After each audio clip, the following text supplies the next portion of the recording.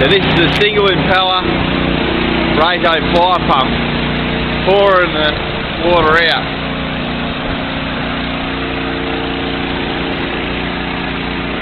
More pressure than I expected.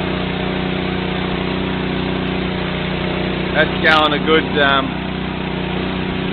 40 metres or so with some real punch.